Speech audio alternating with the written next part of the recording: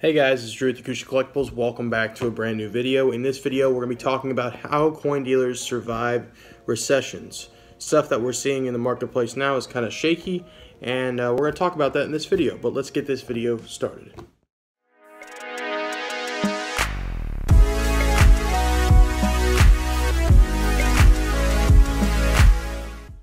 So a lot of people have been asking me lately, what's going on with the market? What's how are coins going to be looking in the next six months?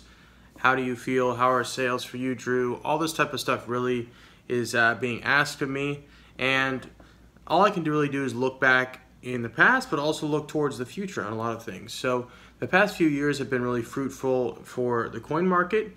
Ever since the pandemic, a lot of things have shifted online. A lot of things have uh, taken a turn in terms of uh, an opportunity um, to I don't know, open the marketplace for people to look at online things and get get coins in, for, in front of more people's eyes.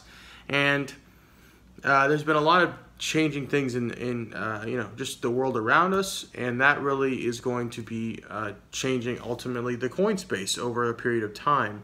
And so over these past few weeks, I've been getting this question more and more because people are actually feeling and seeing uncertainty in many of the markets apart from coins.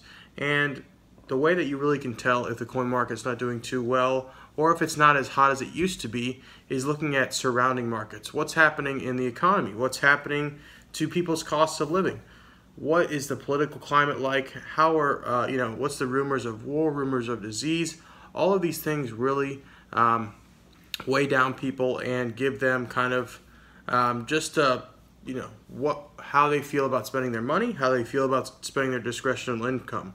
And so a lot of people, when you take all these things into account, really start to harp on and look at and evaluate how am I spending my discretionary income and how much of that is still preserved, especially when we don't have a great stock market right now. We don't have um, just a really constant or steady political climate. We have uh, increased food and gas prices. A lot of these things are weighing down on people, and that ultimately affects uh, the coin market because people are spending their money and uh, you know the way that the choices that they used to make aren't the choices that they might not make in the next six months right and so the ultimate question of you know when you're taking a look at everything and it all being added together is how are coin dealers going to survive how will they continue to exist during times of uh, you know, people clenching their fists with their money, you know, making sure that their money's going the furthest, is being spent on the correct things. And that question is ultimately answered by what customer the coin dealer is working with, right? So during this fruitful time, during this great time in the past two years when we've been able to sell to more people, get a hold of more people, uh, a lot of stuff has moved online and not as much as it shows. A lot of people have been broken up into uh, certain categories. We have the novice collector, the casual collector, and we have the serious collector, right? And so uh, the novice and the casual collector in times of good may spend a lot of money because they have extra discretionary income to spend on coins. But the serious collector, I believe, will spend money no matter if it's a good day, a bad day. They're focused on the collection. It's a high priority for them. I wanted to take a moment to ask you guys if you are enjoying this video, please leave a like. Um, and if you guys want to chime in on what you guys think about the coin space right now, what do you think about the, everything that's happening, please comment that down below and subscribe if you're new. But let's get back to today's video. It's something that they see as a long-term joy and investment into their future. Uh, sometimes the novice or the casual collector ultimately sees it as something that's hot, something that's interesting, something that I want want to pursue for a short period of time. But I feel like the serious collector ultimately is the one that people will be targeting or dealers will be targeting in the next six months because of the spiraling economy and a lot of things that are just really inconsistent in our world. And so the way that dealers really are going to survive this and do well is if they start to placate and work with um, serious collectors and value what they collect. And that has to do with want lists, that has to do with um, things that collectors are, are avidly hunting for on a, on a daily basis that they'll say, you know what, I can't live without this coin, I want to buy it, it doesn't matter what's going on right now. And many of the serious collectors that I know personally are people that own businesses that make uh, over a million dollars a year. A lot of people that spend a lot of money on coins because they have such an immense amount of discretionary income to where it allows them to be a little bit separated from whatever is going on in the world, right? So say if we're taking a casual collector and we're taking someone that's a little bit more of a serious collector, uh, the casual collector say has $250 a month to spend um, during the pandemic. And we are talking about somebody else that has $10,000, $15,000, $25,000 a month to spend as discretionary income during the pandemic, right? And so as times get tough, that $250 ends up being 100, ends up being 50, ends up being 25 because they have to pay more for gas and food. Um, their life's ultimately being affected by a lot of different things that are happening in the market. If someone uh, is making a lot more money, if someone that I know basically is a business owner and uh, that discretionary income maybe is cut in half, that's still an immense amount of money that someone's willing to spend on coins. And so, what dealers are really going to be focusing on, like I said, is they're going to be focusing on the want lists of the serious collector. Do they want to upgrade to their SVDB? Do they want more rattlers in their collection? Do they want uh, rare gold? All these things really are going to be important, especially when you know we're focusing on um, how to survive, how to do well as a coin dealer. And so the question would be ultimately how is the inventory going to shape up? How is things going to change in terms of what dealers like to have as inventory? Um, I believe the dealers will become more selective on what they want to purchase, which means that if they're working for five different people that have a big budget, they're going to be focusing on narrowly on what they would like and things that really interest that, that coin dealer. And so the more selective that a coin dealer is, that means the more selective, uh, you know, the more selective that they are, that means there's less inventory out there. But also there is that inverse effect. If people that normally were buying aren't buying now, then coin dealers aren't going to buy as well. They're going to want to maintain uh, kind of a liquid stance um, while there's this time of uncertainty. And why is that? Because there are those casual, there are those novice collectors that say, oh my gosh, uh, something's happening in the market.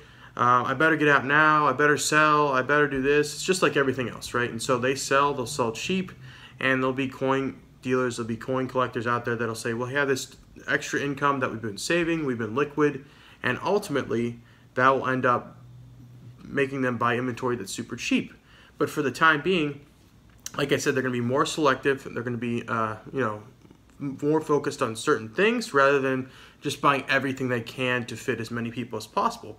Because if we're, you know, breaking it down to numbers again, say if I have 100 clients during the pandemic because everyone's buying, everyone enjoys it, everyone thinks this is going to be going up forever, um, and now I'm down to 15 clients, I'm going to pick more selectively. I'm going to buy coins that I feel will transcend. I feel that will do well during a recession.